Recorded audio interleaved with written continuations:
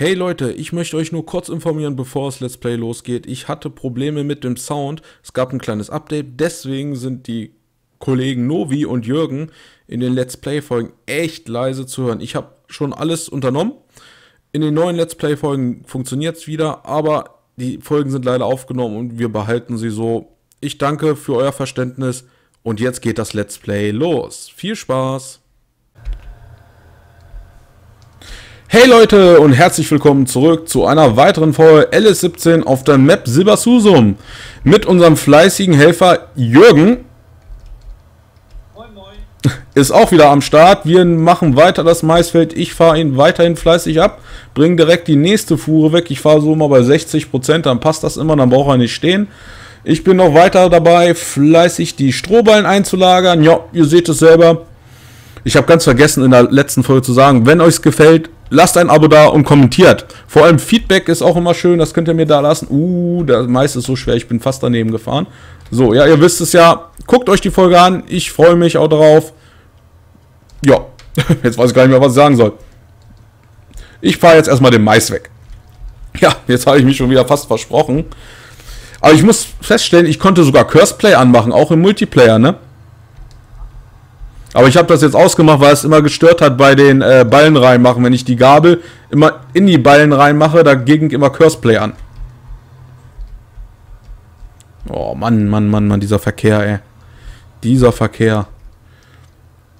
So, dann nehmen wir jetzt wieder schön auf. Das freut mich. Jürgen ist immer noch fleißig am Helfen. Ja, der macht schön das Maisfeld weiter. Aber wenn du willst, wir können auch mal tauschen. Dann äh, dresch ich und du fährst ab, wie du willst. Ich bin schon festgeklebt. Okay. Ich wollte gerade sagen, ihr seid ja fast gleiches Baujahr, aber so alt ist da, glaube ich, der Drescher doch noch nicht. Vielen Dank. Und du spielst wieder World of Tanks? Ja. Momentan Artillerie. Aber da fährst du noch oder stehst du einfach nur fest? Nee, du fährst da auch noch, ne? Bei Artillerie. Fahre auch, aber äh, stehe meistens irgendwo verpisst und dann äh, Aber da muss dir doch irgendwo wer sagen, wo du hinschießen musst oder schießt auf gut Glück. Okay. Beziehungsweise wenn ich mit meinem Jüngsten spiele, dann äh, sehe ich ja, wo er fährt. Ja. Er fährt Aufkleber und dann weiß ich ganz genau da. Und wenn er dann anfängt zu kreisen, dann weiß ich ganz genau, wie ich schießen muss. Okay. Also ich mit meinem Jüngsten bin also kein schlechtes Gespann. Ja. So, So, jetzt ich habe ich jetzt mit. Schneise gefahren. Äh, Ich möchte gerne die kleine Ecke weg haben. Okay. Also wenn du reinfährst in die Schneise, kannst du dann anschließend abtanken. Ja, ich komme zurückgefahren. Muss man mal drehen. Na, ich weiß noch nicht. Vielleicht mache ich heute auch noch mal einen Livestream. Heute Abend nehme ich wieder mit der Novi auf. Und äh, ja, hallo Novi, vielleicht guckst du auch zu. Das weiß, weiß ich gar nicht. Hast du schon mal unser äh, Projekt gesehen? Dann habe ich mit äh, Novi nämlich WoW auf. Da machen wir so halt ein bisschen zusammen, auch ein bisschen reden über WoW. Das ist immer mal was anderes, als wenn man, wenn du nur alleine spielst. Da haben wir einen Char, den leveln wir zusammen. Und da ist heute Abend wieder die Aufnahmesession. Das geht, glaube ich, so wieder bis 23 Uhr. Und dann bin ich am überlegen, ob ich heute vielleicht noch, doch mal live streame. Vielleicht noch mal ein bisschen Dead Island. Das wäre auch noch mal schön. Oder nein, heute, heute ist eigentlich vielleicht äh, Scum dran. Das weiß ich noch. Ja, lasse ich mich überraschen. Aber wenn ihr das Video seht, da ist das sowieso schon Geschichte. Haha. also Leute wart ihr denn da? Äh, bei der großen Action, die ich dir geschickt habe, oh, lock, locker 40, 45. Aber das war hammerhart. Das war, das hat so richtig Spaß gemacht. Gut, der Server hat total geleckt, ist klar. Bei 64 Männer äh, da drauf und alle zusammen und alle am Knallen und überall waren Zombies. Ne? So, warte mal, durch eine Schneise. Wo ist denn hier die Schneise? Wie bitte? Äh, wo hast du denn eine Schneise? Ach, da lang, habe ich gesehen, warte. Ja, äh, wir sind, äh, wir haben uns alle auf den Punkt getroffen. Da waren dann alle, Mann, es, es war ein Spielmacher dabei. Warte mal, ich komme. Ein Spielmacher, der hat halt, der war, sagen wir, der General. Und zwei Admins haben halt so die, äh, die Zombies spawnen lassen an Punkten, wo wir dann waren, ne? Und ja, da waren wir dann so 30, 35, vielleicht waren wir auf 40 Mann. Haben uns getroffen, erstmal alle in einer Linie aufgestellt. Eine Reihe hast du ja gesehen. Dann durften wir erstmal Liegestützen machen und hinlegen, aber alles so auch mit TS reden, ne? Alles so Rollenspielermäßig. Dann sind wir losgewandert in die erste Stadt, die haben wir gesäubert, da kamen dann auch viele Zombies an. Dann an einen Bauernhof haben wir dann Rast gemacht, hast du glaube ich auch das Bild, wo wir Feuer machen. Haben drei Leute waren jagen, drei haben Feuer gemacht, der Rest hat gegessen und Absinth getrunken und so Alkohol, so was jeder dabei hatte.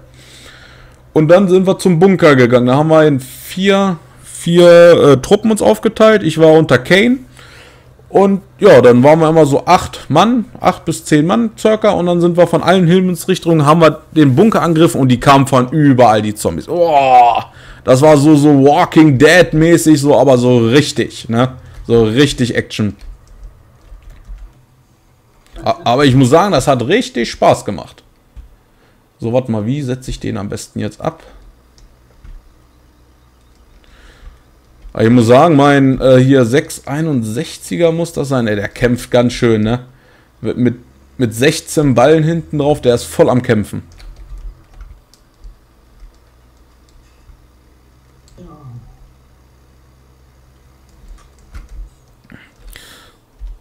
So, wie war das denn? Abladen wir mal Ballen entladen. Z.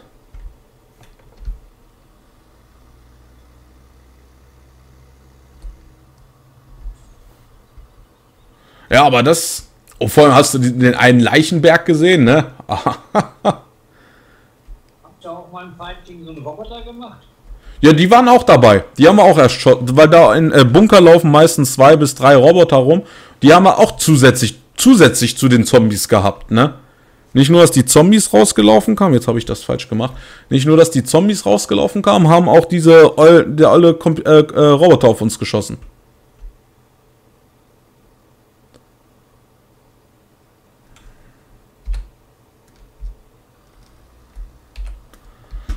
Aber das war echt gut. Das war auch mit einer der größten Aktionen, die sie bisher gemacht haben.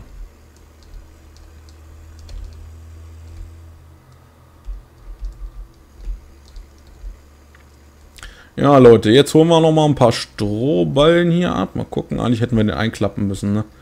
Aber egal, jetzt fahren wir so. Oh, jetzt klappt er ihn ein. Jetzt, jetzt können wir ihn wieder ausklappen. Und bei uns auf dem Server gibt es ja verschiedene Fraktionen. Es gibt die Händlerfraktion, da habe ich mir jetzt ein Nachtsichtgerät von wem gekauft.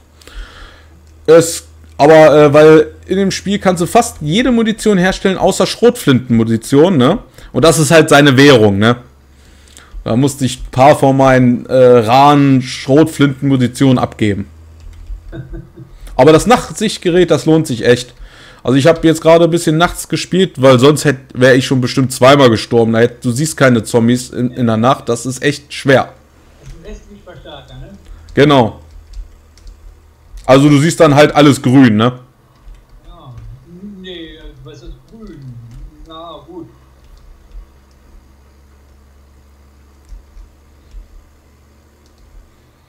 Und es gibt die Rangers, da will ich mich ja jetzt anschließen, so die sind mehr auf Zombies und es gibt die Räuberfraktion, die dürfen einen Ausraum bis zu neun Slots dürfen sie dir erbeuten, ne? Also, ich glaube, du musst dann den Rucksack hinlegen und dann dürfen sie sich bis zu neun Sachen aussuchen, also neun Punkte, ne? Weil die, sagen wir, ein, ein Kochtopf hat sechs Slots und sie dürfen maximal neun Slots halt looten, ne? Wenn du Pech hast, nehmen sie mir meine ganze Munition weg. Aber wir es ist so gedacht, dass du nicht getötet wirst, außer du schießt oder du schießt als erstes oder ne. Es ist halt wie ein Überfall. Und die Rangers sind halt so ein bisschen da, das einzudämmen. Es gibt die Kannibalen-Fraktion. Die dürfen halt nur die Steinzeitwaffen nehmen. Also äh, hier Steinmesser, äh, Steinspeere. Jetzt kommt er mit dem neuen Patch, soll ja auch Pfeil und Bogen mit rauskommen und endlich mal Fahrzeuge. Na mal, sind wir mal gespannt. Und die dürfen einen halt töten, ohne dass sie was sagen. Die zerstückeln dich, nehmen den Kopf mit und essen dich da, da wahrscheinlich, aber sie dürfen deinen Loot nicht anfassen. Der bleibt dann halt bestehen, dass du da wieder hinläufst und dann den Loot wieder hast, ne? Ey, der hat einen Wendekreis hier mit dem Ding. Einen riesen Wendekreis. Dann müssen wir mal gucken. Gleich zwischen 10 und 15 Uhr sollte der Techniker kommen. Wir haben vor ein paar Tagen, glaube ich, am Donnerstag haben wir einen Brief bekommen, dass wir uns melden sollen wegen einem Termin, weil Vodafone was umgestellt hat. Zack, Samstag war es weg. Ich dachte, das wäre nur so Werbung oder so gewesen. Ja, irgend, keine Ahnung. Irgendwie haben sie das Signal geändert und hier müssen, wir haben da angerufen, hier müssen sie jetzt das alte Ding ausbauen und das neue einbauen. Am, ich, hab, ich, ich weiß es auch nicht. Ich habe keine Ahnung, was der hier machen will. Ich bin einfach gespannt. Nee, das muss irgendwo unten im Keller beim Zen, äh, Zen äh, hier, wo das reinkommt, das Kabel. Das Vodafone, also zu Deutsch auch Kabel Deutschland. Genau. Ja, ich, also ich habe da keine Probleme. Einzige Problem, was ich habe bei Kabel Deutschland ist, ich habe keinen Phoenix mehr. Okay. Phoenix ist weg. Ich habe nur gut, also für mich nicht wichtig. Dies, diesen Monat geht auch Walking Dead weiter, ne? Ja. Und geht nicht, geht nicht nächsten Monat auch äh, Vikings weiter? Oder zwei Monate? Zwei Monate. Wenn Walking Dead zu Ende ist, dann fängt Vikings Okay. Und dann ist ja auch bald schon wieder äh, Games of Thrones, ne? September, dauert ein Jahr. Ach, September, ich dachte Januar 2019. Ach so. So.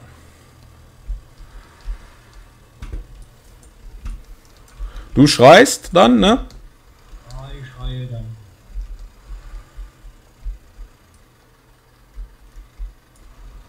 Aber ich muss sagen, mit der neuen Gabel kriegst du ein bisschen besser. Die ist auch ein bisschen schmaler und nicht ganz so hoch. Gut, der obere hängt nicht ganz fest, da muss ich ein bisschen vorsichtig sein.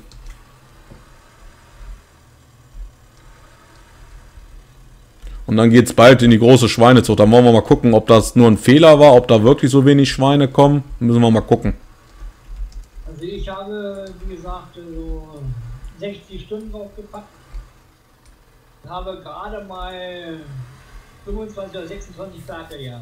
Okay. Wie viele äh, Muttertiere hattest du? Wie viel kannst du reinpacken? 10 Muttertiere, mehr 10 Muttertiere. Okay. Da bin ich mal gespannt. Ansonsten haben wir ja genug, dann bringen wir auch noch die anderen Mastanlagen zum Laufen. Aber wo gesagt, alles in Echtzeit, ne? Also ja. Nicht, äh, die Nacht über habe ich auch durchgearbeitet, also Nacht habe ich meistens äh, äh, Saatgut gemacht. Äh, Feldarbeit und so weiter war ja nicht und dann habe ich immer so neben dem, wo der Getreide, äh, also Getreidetrockner ist, ja. Halle, da habe ich ja mein, mein, äh, mein, mein, mein Saatgut drin gehabt, mein, mein Weizen und dann habe ich das also getrocknet und dann äh, draußen hier äh, Flüssigdünger gemacht.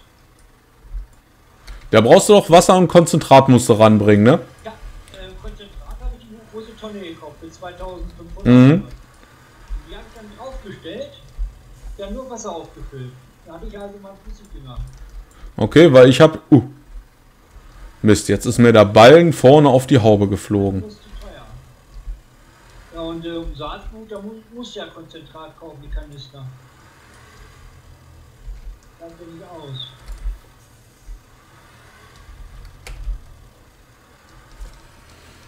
Ja, weil ich brauche noch, wir brauchen noch Flüssiges. Ich habe mir den reingeholt für den äh, MB-Trag, ne, die Spritze.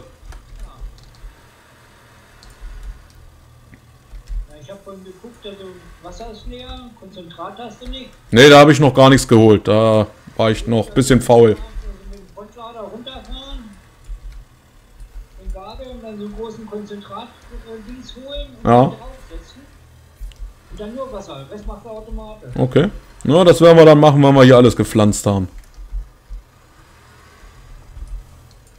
Also wenn du richtig durchrechnest, äh, äh, die kleinen Handkanister sind zwar preiswerter, aber äh, auf die Gesamtsumme hingesehen äh, legst du auch nicht Geld drauf, also bringt nichts. Ja, ist auch die Arbeit, ne? Aber was das Arbeiten gesehen und du stellst drauf. Also du hast genug äh, Freizeit. Es sei denn, du hast leere Felder, aber so weit sind wir noch nicht. Ne.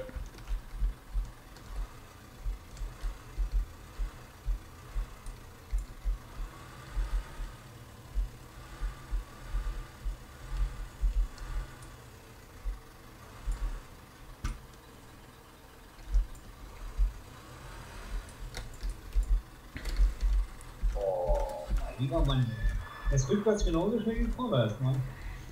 Musst du nicht mal abgeladen werden? Einmal habe ich abgeladen. Ach so.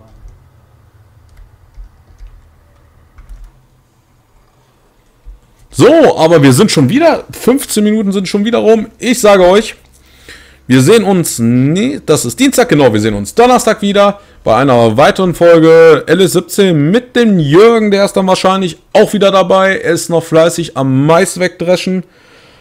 Und ich pack immer noch die guten Strohballen rein. Ja, ihr seht es. Lasst einen Kommentar da, wenn ihr die Folge gut fandet. Feedback, wenn ihr es wollt, auch ein Abo oder Daumen hoch. Das würde mich freuen. Wir sehen uns beim nächsten Mal, nächste Woche. Ich danke fürs Zuschauen. Auf Wiedersehen und tschüss.